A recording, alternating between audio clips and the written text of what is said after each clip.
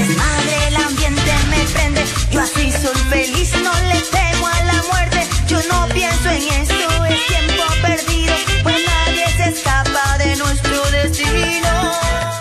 Midio es una persona que tiene la sensibilidad para receptar frecuencias del tipo de persona que ya no está en cuerpo, sino en alma.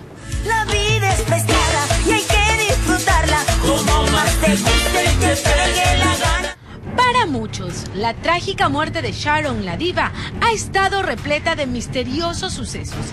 Y es que a muchos los ha dejado helados el último video de la cantante. Quiero estar contento mientras llegue el día de vestir de negro a toda mi familia y espero que cumplan mi último deseo antes de meterme en el agujero. Luz María es medium y logró contactarse con Sharon la hechicera. En este momento vamos a hacer, podemos hacer una conexión con Sharon. ¿Qué dice ella actualmente? Sharon está desesperada por todo este tumulto, por todo este, es, todo lo que se ha formado a través de, de la, a raíz de la muerte de ella. Entonces está muy acongojada, ¿no? Preocupada, desesperada, porque ella no, no, no quisiera algo así, ¿no?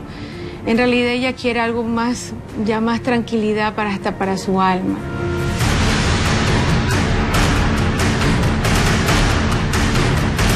Dice que después de la muerte la persona sigue amando. Ella sigue amando, amando a Giovanni López, a su esposo.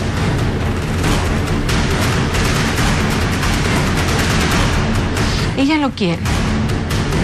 Ella ve las cosas buenas de él. Según Luz María, Sharon no descansará en paz hasta que todos los trámites legales llegue a su fin. Ella no quiere ya estar en este tumulto porque la, se la recuerda mucho y eso en realidad no la está dejando subir a ella. Extraña a sus hijos. Como ella no ha subido, ¿no? Todavía está en términos de tierra, ¿no? Todavía ella, su ser no, no ha trascendido. Ella sufre, porque ellos cuando están todavía en este ambiente sufren.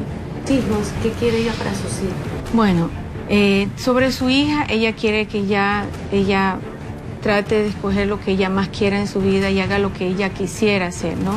Lo que ella decida, pero que se sienta bien.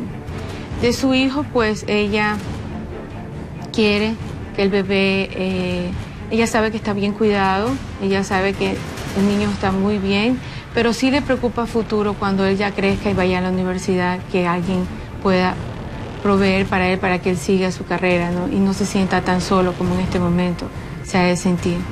Créalo o no, es lo que dice la medium. ¿Habrá vida después de la muerte? ¿Usted qué opina? Para el Club de la Mañana, Pilar Vera.